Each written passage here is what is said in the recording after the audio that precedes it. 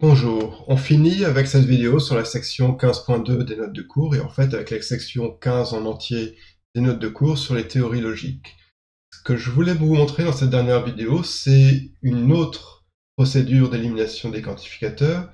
On a vu dans la vidéo précédente qu'on savait éliminer effectivement les quantificateurs pour une théorie axiomatique qui était la théorie des ordres euh, denses linéaires non bornés. Maintenant, on va voir qu'on peut aussi le faire pour une théorie qui est la théorie d'une interprétation particulière. Alors, d'abord, je vais donner la signature sur laquelle on va travailler.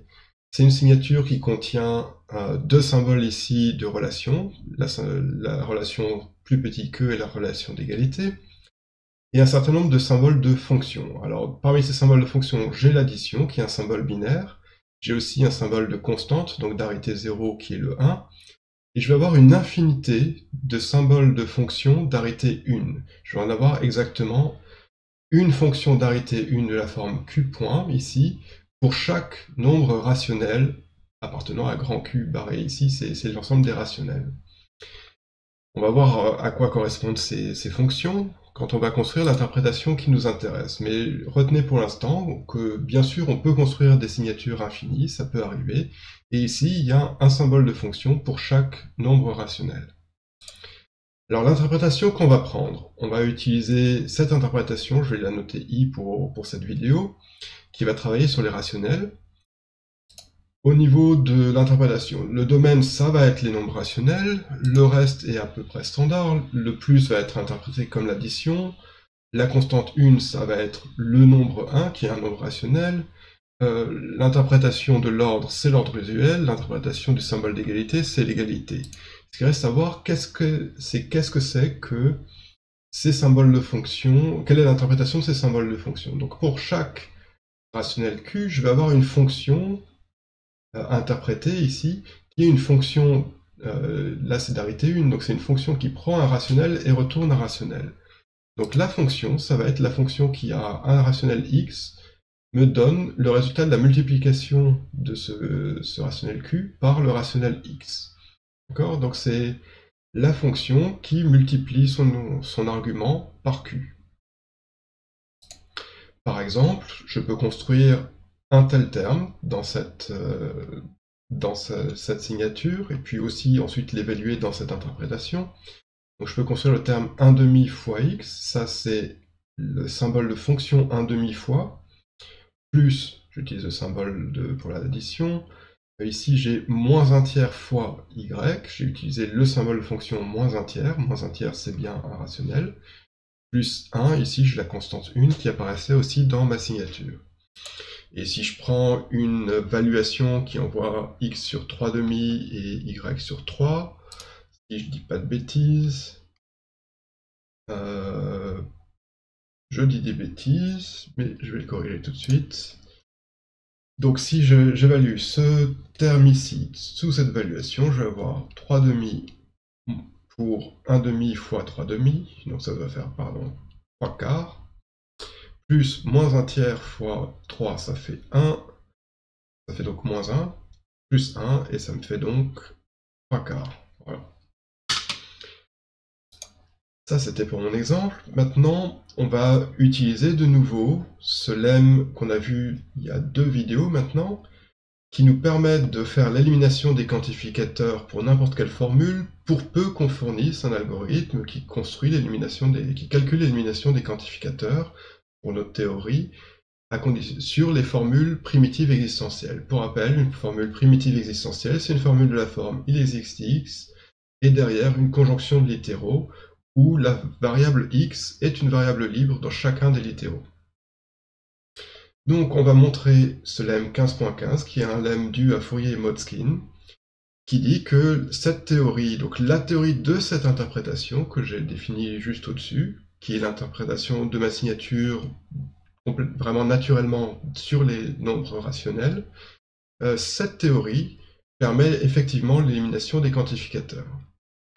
Alors la démonstration, ça va être très très similaire au lemme qu'on a vu dans la vidéo précédente qui travaillait sur la théorie des ordres linéaires denses non bornés. Ce qu'il faut voir, c'est, c'était d'ailleurs un exemple dans la vidéo précédente, c'est que l'ensemble des rationnels munis de l'ordre sur les rationnels c'est un ordre linéaire dense non borné. On va pouvoir utiliser beaucoup de choses qu'on a déjà vues dans la vidéo précédente. En particulier, on va pouvoir utiliser la même étape 0. Étape 0, ça nous dit que les littéraux négatifs sur nos signatures, ils sont soit de la forme négation d'un terme est égal à un autre terme, ou négation d'un terme est plus petit qu'un autre terme. Dans le premier cas, on va avoir par totalité du symbole d'ordre ici sur, euh, sur Q, sur les rationnels, et eh ben, si t est différent de t', ça veut dire que t est plus petit que t' strictement, ou t' est strictement plus petit que t. De la même manière, si t n'est pas plus petit que t', strictement, ça veut dire que t est égal à t', ou t' est strictement plus petit que t. Exactement le même raisonnement que dans la vidéo précédente.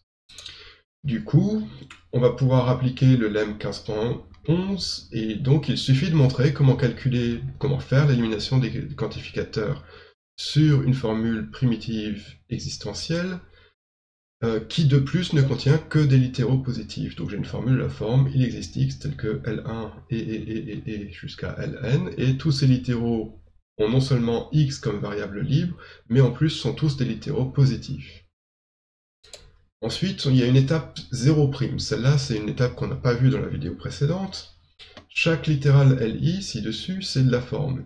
Un terme égale un autre terme, ou un terme est strictement plus petit qu'un autre terme avec la variable x qui apparaît euh, dans le terme t ici, ou dans le terme t', ou peut-être dans les deux.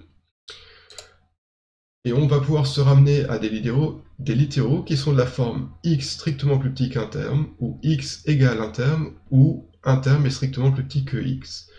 Ça, c'est juste l'application de règles de calcul sur les rationnels.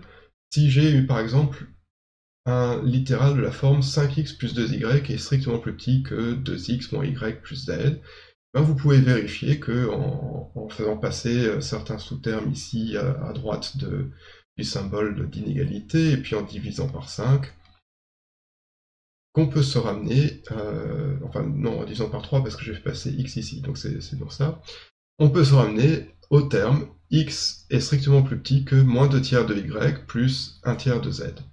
Et ça, c'est vrai modulo ma théorie, ma théorie euh, de l'arithmétique linéaire rationnelle. Du coup, maintenant, on va pouvoir faire une analyse de cas qui va vraiment beaucoup ressembler à l'analyse de cas de la vidéo précédente. Vous vous rappelez, le cas A, c'était le cas où j'ai un littéral de la forme x strictement plus petit que x qui apparaissait.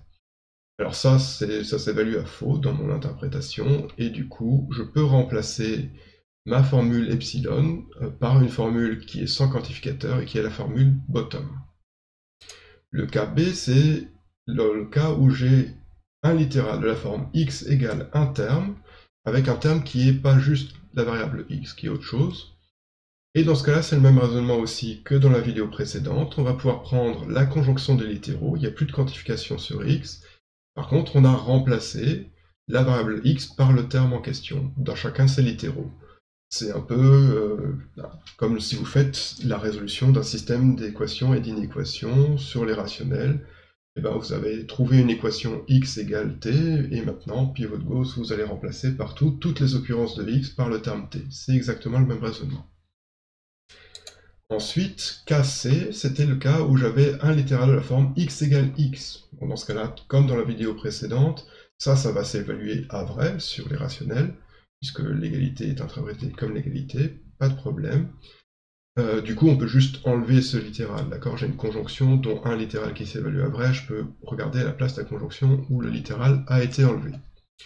Enfin, dernier cas, c'est le cas D. Ça veut dire que si je ne suis pas dans les cas précédents, où j'ai trouvé une façon de travailler, ça veut dire que ma formule primitive existentielle est de la forme, en fait, il existe x tel que euh, d'un côté, je vais mettre tous les littéraux qui me restent, qui sont de la forme tj strictement plus petit que x, et ça, ce terme tj, c'est un terme qui n'est pas juste la variable x. Et, puis de l'autre côté, je vais mettre les, autres termes qui sont tous de la forme, euh, pardon, les, littéraux qui sont tous de la forme x est strictement plus petit que tk, et les tk ici, ces termes ne sont pas juste la variable x, c'est des variables différentes. Et là, on applique le même raisonnement. Mon ensemble de rationnels, c'est un ensemble qui, pour l'ordre, est non borné à gauche et à droite et qui est dense. Donc si m égale 0 ou p égale 0, comme c'est un, ordre qui est non borné, je vais pouvoir juste remplacer ça par la formule top qui s'évalue à vrai. Et dans le cas où j'ai m différent de 0 et p différent de 0, je vais pouvoir utiliser un argument de densité qui me dit que je peux remplacer ma formule par la conjonction ici sur les indices, sur tous les indices j et sur tous les indices k, euh, pas du tout de t1 et tj et tk, mais de tj strictement plus petit que tk. Voilà, donc ça, ça nous permet de montrer qu'il y a une élimination effective des quantificateurs pour les formules à l'intérieur de cette théorie. Et un corollaire de ça, ce qu'on peut en déduire, c'est que cette théorie est décidable. Pourquoi? Par le lemme précédent, pour toute formule close, on va pouvoir calculer une formule sans quantificateur et qui sera close elle aussi, et qui est équivalente modulo la théorie. Cette formule, qu'est-ce que c'est? C'est une combinaison booléenne de littéraux, c'est-à-dire euh, je peux combiner des littéraux avec euh, la conjonction la disjonction, ça peut être aussi euh, bottom ou, top. Hein. Et les littéraux, c'est des littéraux de la forme t plus petit strictement que t' ou t égale t', avec des termes t et t' qui utilisent quoi? Qui utilisent la constante 1, la multiplication par un rationnel q et l'addition. En fait, ça, c'est des termes que je vais savoir évaluer dans mon interprétation, et peu importe l'évaluation, puisque c'est un terme clos qui n'utilise aucune variable. C'est juste calculer 3 euh, fois 1 plus 2 euh, fois 1,5 et des choses comme ça. Je vais pouvoir calculer tout ça. la, sémantique de mon terme t ici, ça va être un rationnel. La sémantique de mon autre terme t, ça va être un rationnel. Et je vais pouvoir les comparer pour l'ordre ou pour l'égalité, pour voir si chacun des littéraux est vrai ou pas. Et ensuite, remonter les, combinaisons avec, euh, la, avec la conjonction, la négation, la disjonction, etc. jusqu'à avoir évalué ma formule ici sans quantificateur et voir si elle est vraie ou pas. Voilà, c'est comme ça qu'on peut vérifier si une formule close est vraie ou non dans cette théorie de l'arithmétique linéaire des rationnels.